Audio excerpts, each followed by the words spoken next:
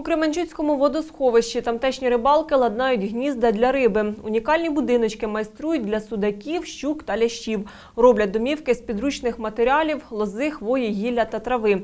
Для чого рибам гнізда, знають мої колеги.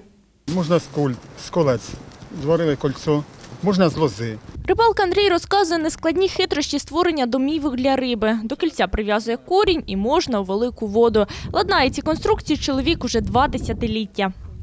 Дві минути і зроблено гніздо. Уровень великий води. А є такі міста, що очерет, ну, що немає очерету, то викидаємо ці гнізда.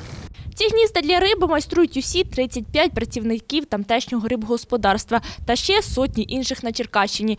Домівки з підручних матеріалів створюють, аби уберегти і примножити популяцію риби. Під час нересту у таких гніздах риба відкладатиме ікру. Ми допомагаємо водоймі збільшити рибопродуктивність, щоб вона мала змогу віднереститись краще.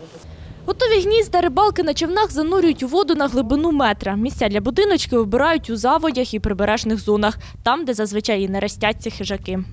Е, Дані гнізда будуть встановлюватися на найбільших нерестовищах, е, ну, на проблемних, на яких буде низький рівень води, на тих будуть і встановлюватися. У зв'язку з тим, що очеред не затоплений водою, е, рибі просто нема де нереститься. Кожні 10 днів гнізда чиститимуть від мулу. За два місяці після закінчення нересту конструкції зовсім приберуть. Завдяки таким старанням рибаків популяція судака у Кременчуцькому водосховищі за останні роки збільшилась у декілька разів, кажуть спеціалісти. Ірина Головка, Віка Новини.